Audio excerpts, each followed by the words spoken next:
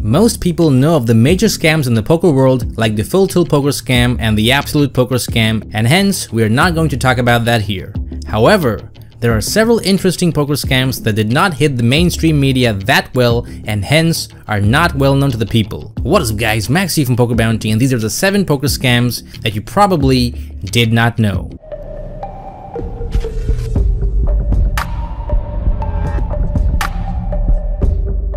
Number 1. Sideline Reporters in 2010, the Partouche Poker Tour uncovered a complex cheating scandal that had apparently been perpetrated all over Europe. The leader of this cheating ring was Ali Tekintamgac. Tekintamgac's cheating history stretched back several years and he was found guilty of heading up a ring that targeted wealthy players, many of whom were of Eastern European descent at an Augsburg area casino. Key to the case was the discovery of several electronic devices designed to assist in cheating found in the car of Ali's associate and poker player Kadir Karabulut. Back in 2010, the name of the Turkey-born German player came to the media's attention after he first won the World Poker Tour Spanish Championship in Barcelona for 278,000 euros. At that time, Ali said he had only played in a handful of major live tournaments but was now looking forward to showcasing his skills at the World Series of Poker main event. Unfortunately, those skills he was talking about involved reading the signals sent to him by fake live bloggers at the events who would then relay information to him on the other players' hole cards. However, Ali's cheating ways eventually caught up to him at the 8500 euro Partouche Poker Tour where he made it all the way to the final table with a 1.3 million euro top prize awaiting the ultimate winner. Ali even progressed to 4th in chips before the video footage was produced showing his cheating and leading to his disqualification from the event. As can be seen from the video, the decisive hand of the 2010 WPT Spanish Championship and alleged poker journalist was strategically placed behind Ali's opponent to spy on his hole cards through his camera. Once he had seen the cards, the reporter would then communicate them to Ali with a particular code. Incredibly, while waiting his court case, Ali had the gall to use the free ticket he had earned from his WPT Spanish Championship victory to enter the $25,000 buy-in WPT Championship. Not surprisingly, his presence in the tournament caused an uproar amongst the other players with Daniel Negreanu confronting Ali at one stage. Soon after these incidents, Ali slipped back into the shadows, but following a recent court case, he was thrown back into the spotlight by a judge in Augsburg. The behavior finally caught up with him as he was arrested later by German authorities. In an amazing display of chutzpah, Ali later filed suit against the Partouche Tour and its organizers. Ali sought 1.5 million euros in damages for loss of income and damage to his reputation, the accumulated video evidence notwithstanding. The lawsuit doesn't appear to have gone anywhere, it was either dismissed or quietly dropped in the face of the evidence. Ali pleaded guilty and was sentenced to 3 years, 5 months in prison after being convicted of running a poker cheating ring by the Augsburg District Court. One of Ali's partners acknowledged his role in the scheme and received a suspended sentence, while another accomplice disappeared and hasn't been heard from since. Number 2. The MSN Messenger Poker Scam The MSN Messenger scam is a big scam that had been pulled off many years ago involving two popular poker names, Patrik Antonius and Johnny Lodden. When the two were battling each other, a new poker player appeared and was not afraid to play anybody, including both Antonius and Lodden. After playing the two pros for a while, he asked them to communicate with him through MSN Messenger. But as it eventually turned out, the man was a hacker and infected their computers with a bug that allowed him to see their hole cards. Lodden and Antonius lost over 3 million before finding out what was really going on. The hacker was never prosecuted and has since disappeared. Number 3. The Blonde Poker Staking Scam over the years, there have been a few incidents of people building up a solid reputation through poker forums and then subsequently making off with thousands of dollars from the people that have grown to trust them. The scam perpetrated by Neil Blotchley on the Blonde Poker Forum is the largest till date. Blotchley created a staking thread where he was looking for backers so he could test his sports betting model. With a few interested parties taking him up on the offer, the success stories started rolling in and Blotchley quickly gained more and more capital from investors. Unfortunately, the too good to be true story was just that, too good to be true. Blotchley was running something of a Bernie Madoff Ponzi scheme.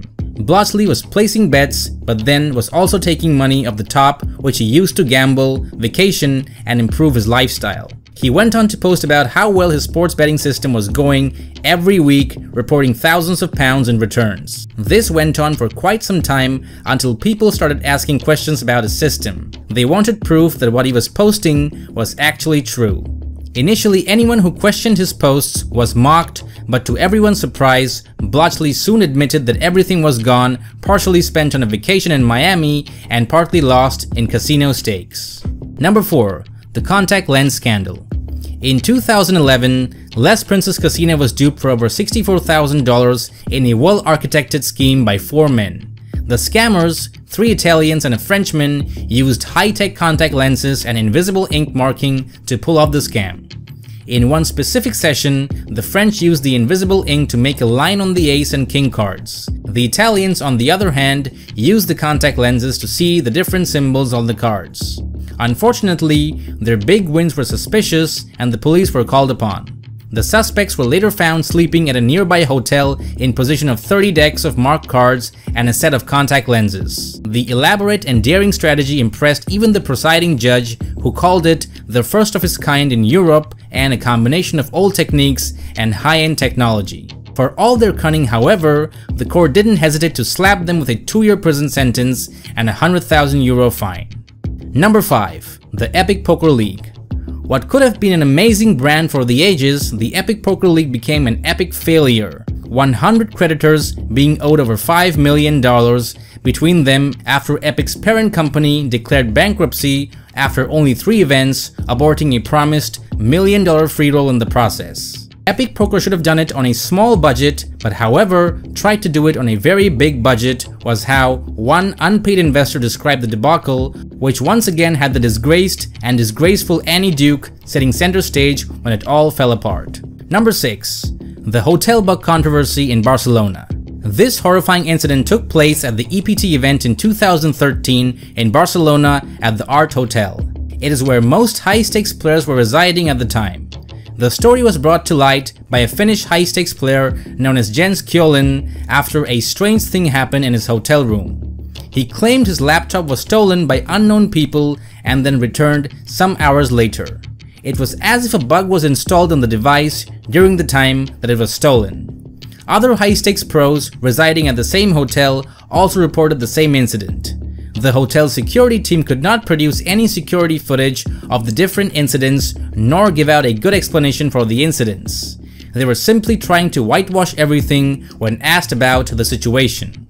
Ultimately, their queries plus a PokerStars investigation was unfruitful as nothing tangible came out of it. Nonetheless, it was evident that most high-stakes poker players are at the risk of losing huge amounts of money in this scam. Number 7. The PokerSpot Scandal the PokerSpot scandal was one of the first real scandals to hit the online poker world as early as in 2001. After successfully launching the internet's first online poker room with several game types, the site went belly up and never paid out its debts to players. PokerSpot saw the light of the day as early as May of 2000 when the site launched with the internet's first offer to play several online poker game types. Before the launch of PokerSpot, only Planet Poker was offering online poker, but PokerSpot aspired to challenge this with fresh competition and a widened offer, including stud and Omaha games as well as poker tournaments. The takeoff of PokerSpot went well under the supervision of founding brothers Dutch and Robert Boyd. The two brothers had conceived the idea of a large online poker operation at a time when the market was still emerging and could potentially look forward at a huge operation. Sadly, it would go down very wrong instead, leaving the company as an example of how loosely regulated the online poker market was in its early days. About one year after its launch, PokerSpot ran into its first problems. PokerSpot was relying on two payment processors who were in charge of handling payouts and deposits between the players and the site. In the year 2000, the two processing companies failed, leaving PokerSpot with a hole of half a million dollars which was never recovered.